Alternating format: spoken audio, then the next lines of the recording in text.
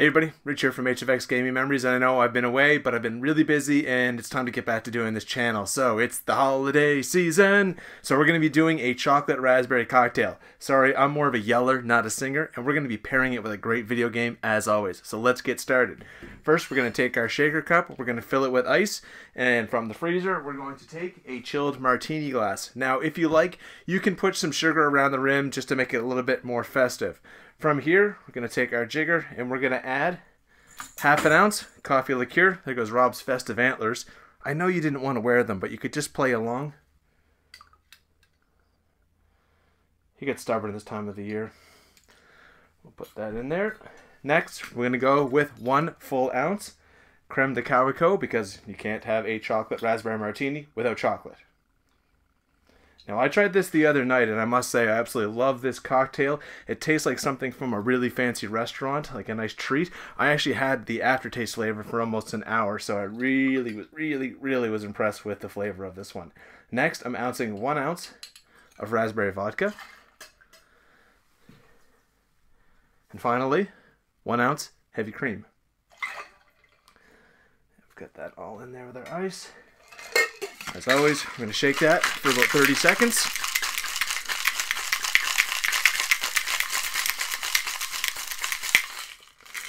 That should do. I've always been a big fan of the chocolate and the more dessert style martinis if you haven't noticed. And we're just going to strain that into our glass. That looks delicious already. Now, from here, you have some options. If you have some dark chocolate lying around the house, you can shave and put that on the top of the drink just for a little bit of extra added seasonal flavor. Me, I'm just going to decorate it with some raspberries. So you see, I've put three of them here and just lay it along the top. And there you have your chocolate raspberry martini. It's just that simple. Your guests are going to love it. Now let's talk game pairing. Well, there's not really a lot of holiday retro classic games. In fact, when I was a kid, the only thing we used to do was mix the Doom Christmas WAD, which is the levels, with the Total Conversion Cowboy one. I don't know why we mixed those two together, but that was our holiday game. I got thinking that a lot of people are doing baking, so let's look at baking games. And for Nintendo, we're going to be looking at Yoshi's Cookie. Now, I personally have never been a big fan of slide puzzles. Uh, the little handheld plastic ones, I'm terrible at. I'm more into crosswords, logical puzzles, that sort of thing. So I never really got into Yoshi's Cookie, Tetris. I did have Dr. Mario, but that was a gift by mistake. I was told that Dr. Mario was actually a game where you're running inside the human body, like a side scroller Mario fighting viruses. Uh, you can imagine my disappointment when I got a puzzle game, especially considering I had a black and white TV. So I haven't played much Yoshi's Cookie, so I'm looking forward to trying it again. Maybe my opinion will change on that type of game. So I'm going to clean up and let's get started.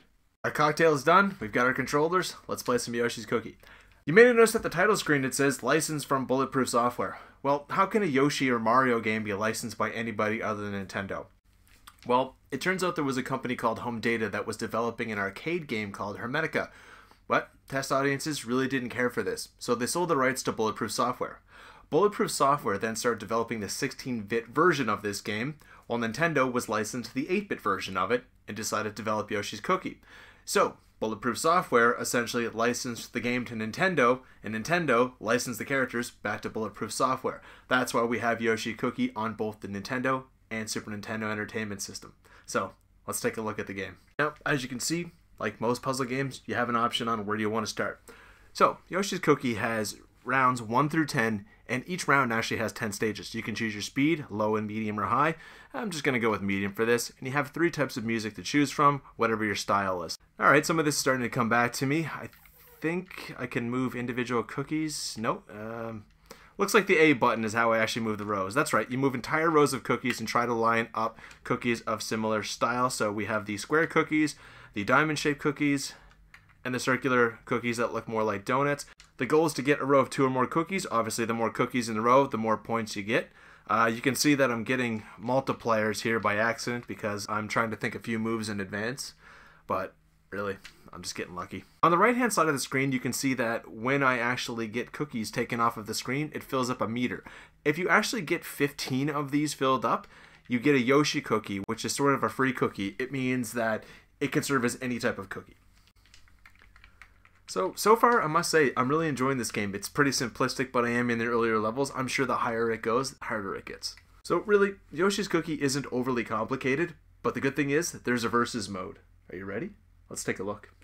For the versus mode, everybody can actually individualize their setup. So depending on how you want to play, you can go low, medium, or high speed. There's actually a handicapping that makes it harder or easier depending on your player's style.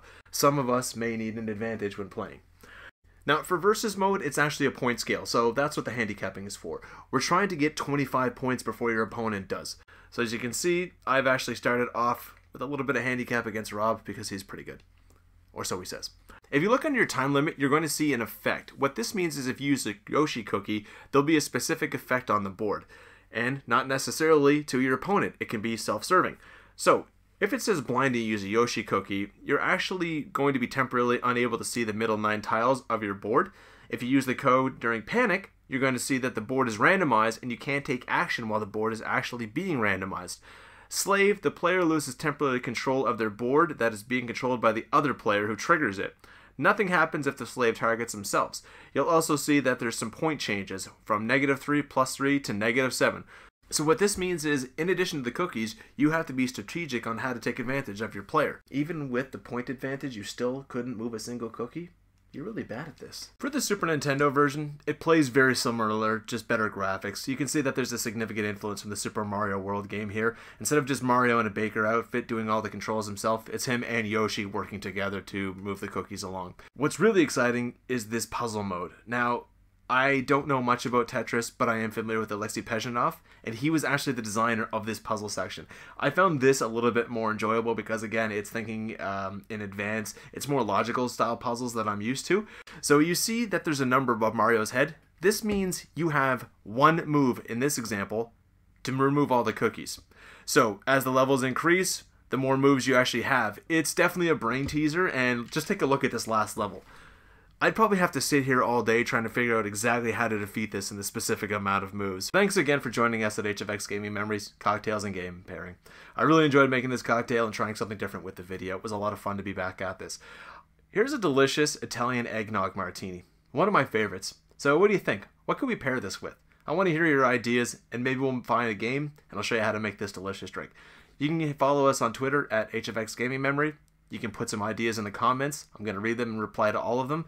And you can even email me at hfxgamingmemories at gmail.com. Until next time, drink and game responsibly. We'll see you soon.